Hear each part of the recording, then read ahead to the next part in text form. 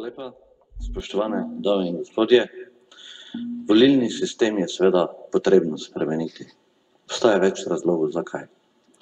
Prvič zato, ker ta volilni sistem je takšen, da je s pomočjo takšnega volilnega sistema Slovenija bankrotirala. Zato ga je potrebno spremeniti. Volilni sistem, ki ga imamo sedaj, je takšen, da ima država svoj državni zbor.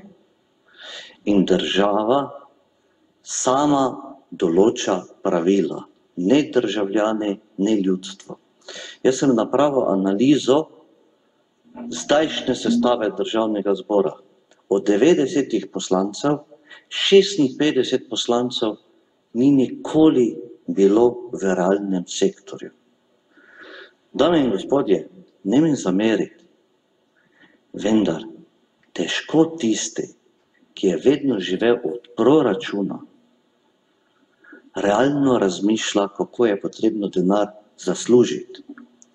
Če pa ne veš, kako je treba denar zaslužiti, težko pravilno denar deliš.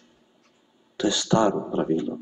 In razmerje med javnim sektorjem in gospodarskim sektorjem, ja, ni takšno, kot je razmerje v parlamentu.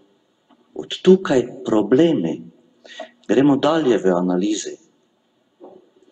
Od teh šestinpetdeset poslancev, ki je prišlo iz javnega sektorja, pa nič nimam proti javnemu sektorju, jaz veliko o tem pišem in govorim, samo preobsežen je in seveda ta je uzurpiral državo je 40 poslancev prišli neposredno iz državne uprave. Dame in gospodje, mi ja imamo nasilje državnih institucij nad državljani. Gremo gledati dru drugo strukturo, vendarle vse tehnološko napredne države temeljijo na naravoslovnih znanosti, ne na politoloških znanosti. 27 poslancev ima recimo na pravoslovno izobrazbo, 63 družboslovno, pa se mi smo ja vse smešali. Zakaj je potrebno spremeniti volilni sistem? Zato, ker v parlamentu nimajo tisti, ki ustvarjajo nobenega vpliva, nobenega in prav nobenega. Spremeniti je potrebno osemdeseti člen ustave, zakaj? Ker ima Slovenija na milijon prebivalcev petinštirideset poslancev, Avstrija dvaindvajset, Češka dvajset, Slovaška sedemindvajset, Nemčija celo osem in tako dalje. In je potrebno število poslancev zmanjšati na petdeset. V ustavo je potrebno napisati, da ima Slovenija sedem ministrstev.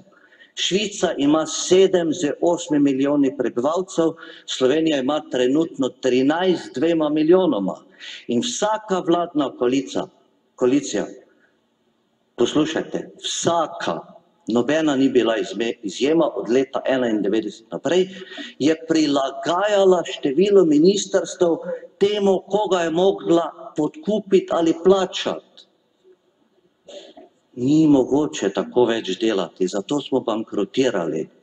Volilni sistem, ki ga imamo, in če bomo s tem volilnim sistemom šli na volitve, se bo zgodilo enako kot doslej v triindvajsetih letih. Zdaj smo praktično bankrotirali, živimo še samo od leta dva tisoč devet smo si sposodili dvajset milijard evrov. A je komu predstavljivo, da to pomeni dva tisoč milijonov? Državo smo za naslednjih štirideset let po izračunu resnih ekonomistov zadolžili državljane do onemoglosti. Dvignili smo vse mogoče davke, znižali socialne, bi rekel, pravice, znižali pokojnine, ja, pa glejte, kam gremo. Naj dodam, na tak način je moje podjetje bankrotiralo. Ko sem leta dva tisoč deset si šel po kredit, bi moral reformirati podjetje, jaz govorim iz izkušenj. Iz izkušenj. Ni mogoče govoriti In ta vlada seveda pravilno, da odide. Če pa ni druga naredila, kot zadolžila vsakega državljana za dodatnih deset tisoč evrov, dvigla davke in sadila rožice, kako smo mi dobri in kako smo stabilizirali finančni ne vem kakšen sistem. Pa ljudje moji dragi, če seveda in prav imajo tisti, ki govorijo, ne sme parlament oditi, če ne spremeni volilnega sistema in tudi obstoječa politika. Ko sem jaz šel po kredit na firmo, sem podpisal osebno menico. Veste, kaj delajo triindvajset let? Pripeljejo na rob bankrota in se poslovijo in se v drugi obliki pojavijo. Dokler ne bo osebne odgovornosti parlamentarcev, ne bo nič. Tukaj sedim v zadnjem sedežu in gledam naprej.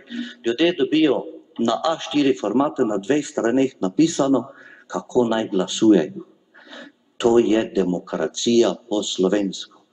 Intelektualni in duhovni potencial po mojih raziskavah. Večina poslancev dosedanjih vseh parlamentov, tudi tega je takšen, da povprečnemu parlamentarcu in večini parlamentarcev od devetdesetih veliki večini omogoča, da pridejo v državni zbor se najesti, napiti, pritisniti na tipko po naročilu nekoga drugega, prebrati to, kar mu napišejo, in ne mi zameriti še, malo moraš biti vulgaren, da te kdo sliši, se posrati v parlament, ker je to zastonj. Hvala lepa.